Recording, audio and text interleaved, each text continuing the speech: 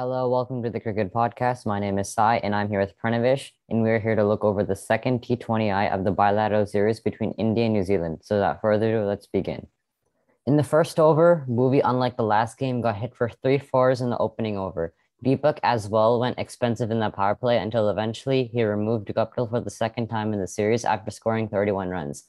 Then the spinner slowed down the run rate, which led to a wicket of Chapman after scoring 21 runs and being bowled by Akshar Patel. After that, wickets fell at regular intervals and not many runs were scored at a fast pace, which took New Zealand's score to 153 for six. The standout bowler for India was Harshal Patel's two wickets for 26 runs. Akshar Patel and Ashwin also had good economies to slow down New Zealand's great start. For New Zealand, no one got over 50, but Guptill's quick fire 31 really gave New Zealand a good start, but unfortunately they couldn't keep up the momentum. Another interesting thing is last game, Guptill hit a six and got out in Deepak Chahar's over.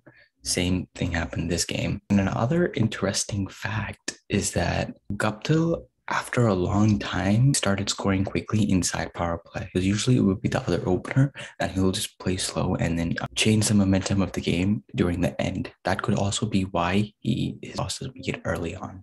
And another thing was in that game, he started hitting a lot of no look shots. He was looking at the bowler and he hit the shots. He didn't even look where the ball went, at least for the boundaries. Again, Harshal Patel, a dream debut for anyone. Um, amazing uh, spell from him. Again, as I said, if you're a slower ball specialist, use a slower ball because he was on he pulled slow and he didn't get hit for sixes, or not a lot of them at least. On to India's batting, it was amazing all around. KL Rahul and Rohit Sharma yet again put a hundred partnership stand before KL gets dismissed by the Southee Express for a brilliant 65 runs.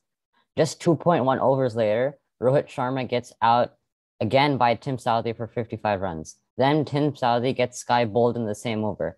I guess the Southee Express is up and running. Make sure you don't miss the bus. Then Venkatesh Iyer and Rishabh Pant seals things for India in style with 16 balls to spare. The interesting thing is that ABD announced retirement yesterday. And uh, if you saw Rishabh Pant finish the game off with two sixes, and the last one was one handed six. So I mean, it was like, this is to you, ABD. Like, it's respect to him for his retirement. Rishabh Pant hit those sixes. And poor Jimmy Neesham. Do you think Neesham should have been on earlier? Yeah. I mean, yes. Okay, the India could have won earlier, uh, but I think Tim Southee came in and put the brakes on uh, by him and Trent Boult bowling out. Uh, but again, what a transformation. Last game, Tim, Tim Southee got hit for a lot of runs. Um, this game, it changed his game and it's improved. One thing that I might, I would tell them to change is that um, Trent Boult to bowl the first over, like Kane Williamson. Thank you for watching our cricket podcast where we reviewed the second T20I of the bilateral series between India and New Zealand. If you enjoyed this video, please like and subscribe. Peace.